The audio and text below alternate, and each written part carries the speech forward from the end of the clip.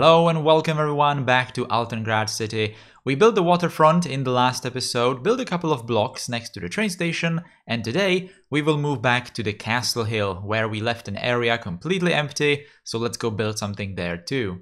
What we also need to figure out in today's episode is the hill itself, because uh, if you remember from episode 1, this map was pretty much flat in this area, so I had to create some sort of an elevation, terrain elevation, where I could put the, the castle and all those buildings on the castle hill together with it.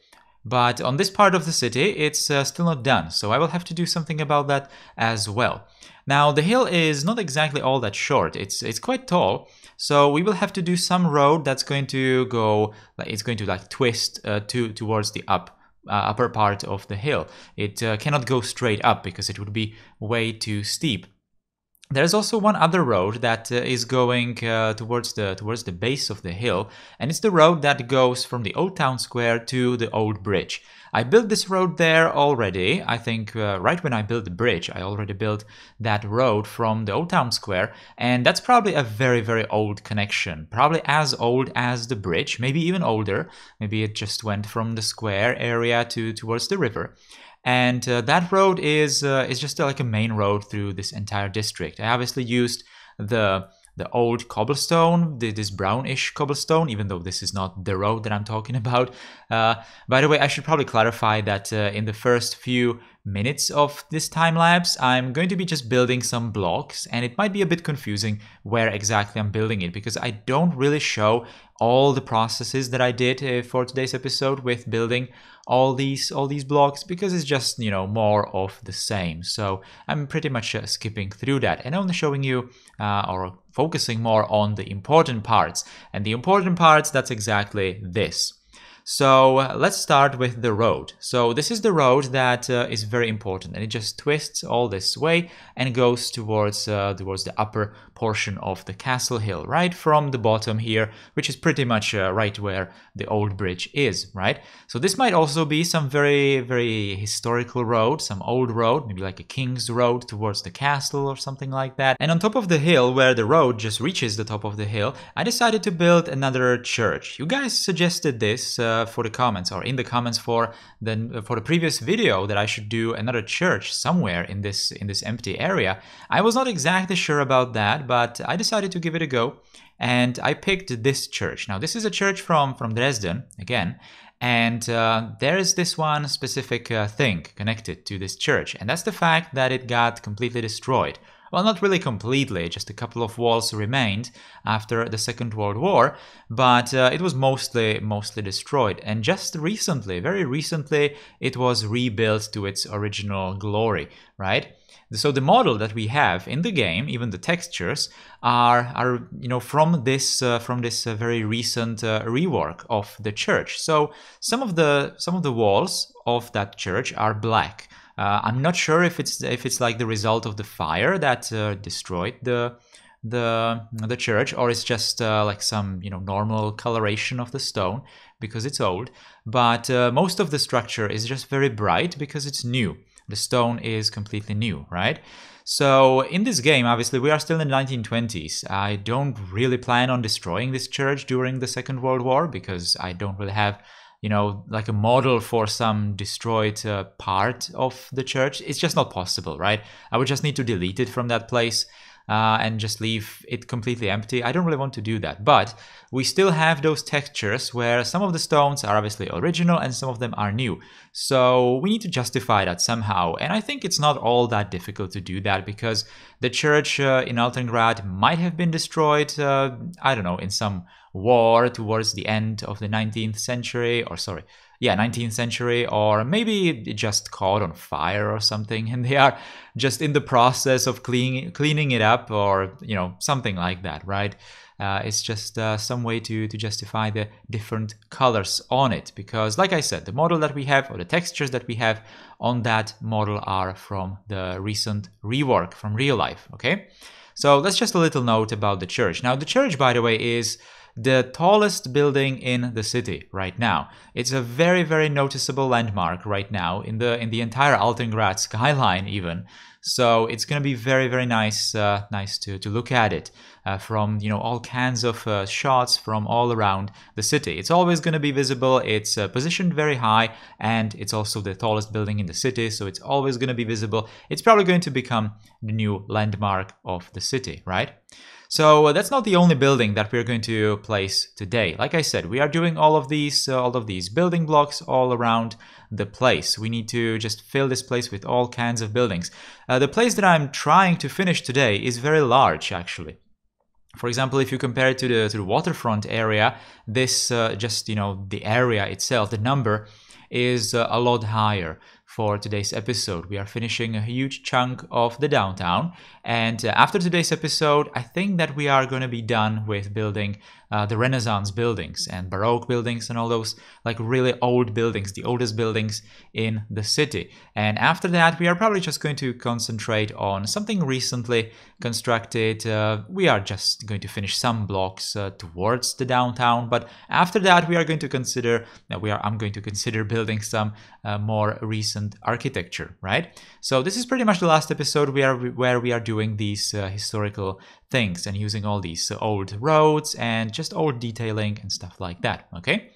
So I decided to do a different approach for today's episode and just detailing detailing these uh, blocks uh, as I finish placing the buildings in those blocks. So uh, unlike uh, normally where I just position buildings first everywhere and then do the detailing, we are going to just uh, completely finish it even with the trees and benches and everything, even the paths, connections through the stairs and all that through these places, right?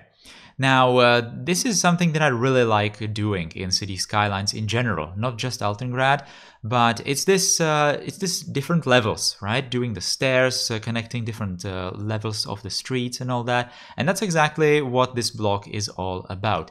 We have that uh, original road that I said that connected the square with the bridge. And uh, on top of the screen right now, we have the road that goes towards the castle on top of the hill or towards the church. So these two roads are obviously different uh, height-wise. The, the one that goes to the hill obviously is steeper, so it goes you know, it goes higher. So uh, these two streets, I decided to just connect using all kinds of connections between these buildings, doing these uh, slightly narrow or maybe even wider in some cases alleys with uh, with stairs and different kinds of surfaces, different kind of detailing, and all that. And I think it, it turned out uh, looking really great. I'm not sure how many alleys I even built here. It was uh, it was uh, you know a couple of them and uh, it's it's very nice to do these connections through the city blocks. It's just going to make it more interesting than uh, simply placing a row of buildings uh, everywhere in these blocks. This is definitely something that's going to make it more alive, right? Together with all the detailing, of course, and uh, just any kind of small, small details. Like, for example, these little corners with some benches, maybe, and uh, yeah, benches like that, and some trees and all that. Also, I need to detail all these backyards, but uh, I'm not really focusing on that too much because it's not really that important to the overall feel of the area. So I'm just basically uh, these uh, inner courtyards or backyards, whatever you call them. I'm just putting some trees in there, leaving it, uh, leaving it there. Maybe a couple of benches here and there, but that's it. I'm also trying to make the surfaces a bit more interesting by placing all kinds of stains in there, uh, just to just to have the surfaces a bit varied in some places because uh, we all but we, we only have this one texture for uh, for the cobblestone. Well, we do have that brownish texture for cobblestone on the road itself, but for this this painted cobblestone, it's uh, it's just the one. So making it a bit more interesting with uh, some of the decals, like I said, stains or something like that, is definitely is definitely worth it, right? So these are the last stairs that I'm uh, doing in this block and I'm also connecting it. As you can see, the stairs are leading to this uh, connection. There's not really a road there, but it's just a, it's just a street, where, well, or alley maybe, let's call it, that uh, is just going, that's just connecting the street that goes towards the hill and the street that leads also towards the hill, but from the square, right? It's just a, it's just a very short alley right here connected with the stairs uh, down towards those other roads, right? I'm later going to put all kinds of connections, uh, pedestrian paths, functional pedestrian paths through these places. And there's going to be a lot of people walking through these places, which is really nice. That's super satisfying all the time. Uh, every time you create these connections, then you know that uh, it it's needed, right?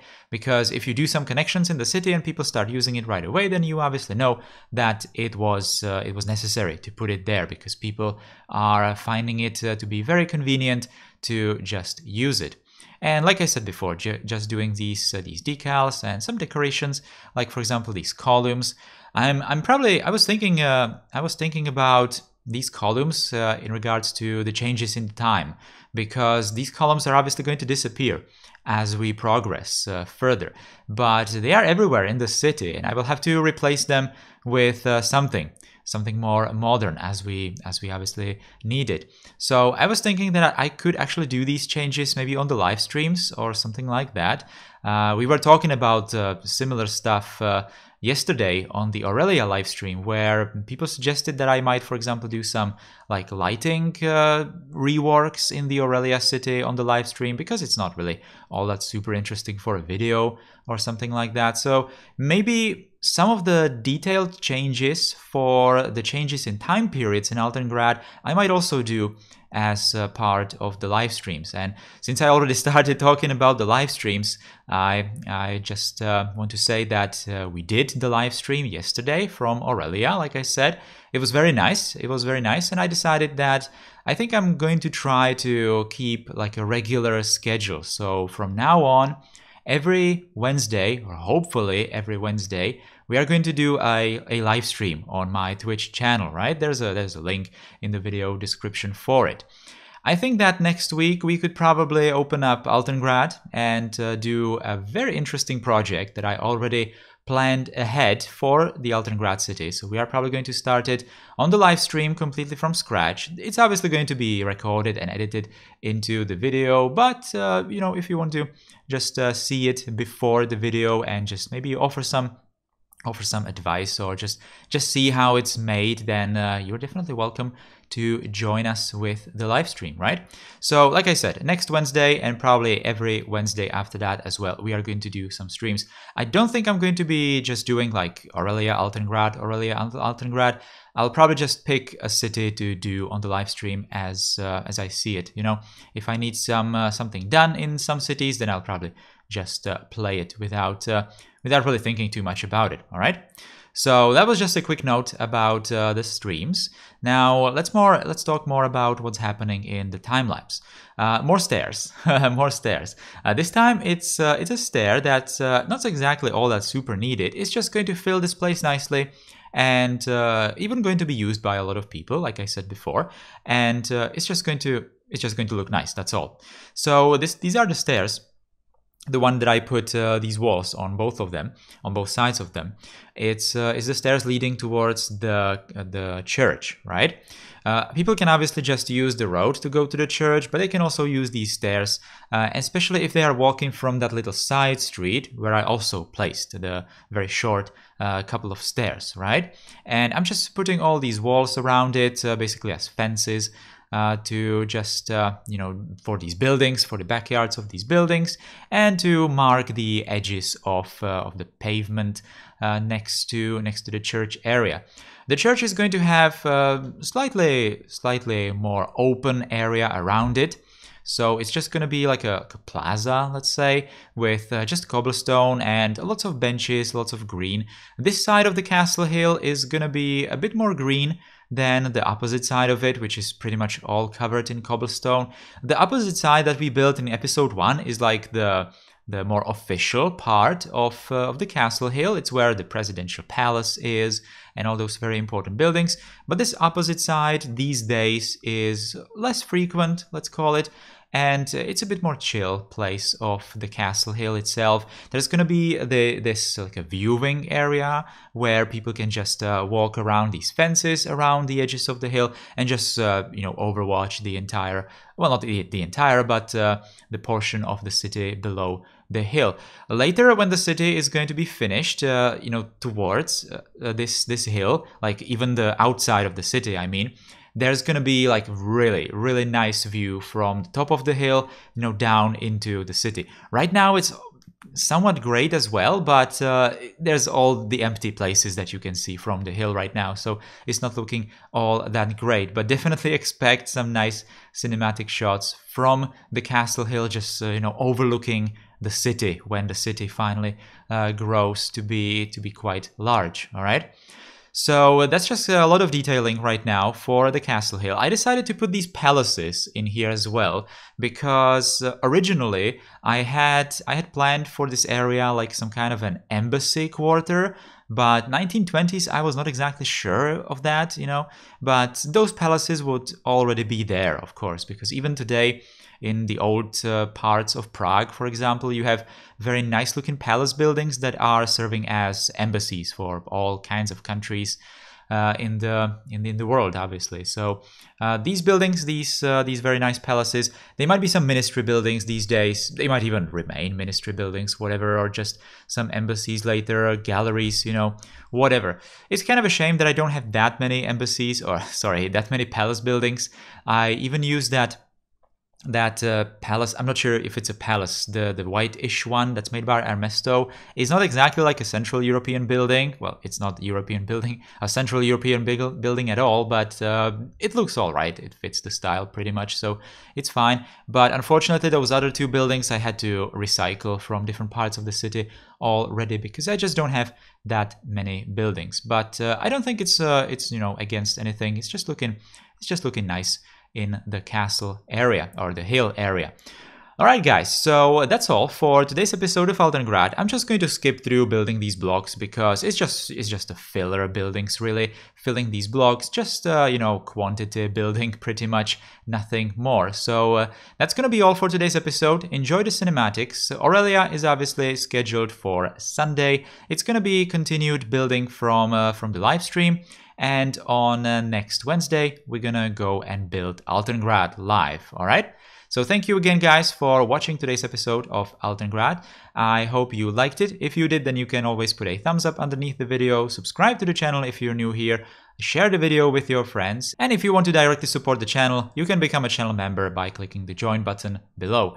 Enjoy the cinematics, take care, and goodbye.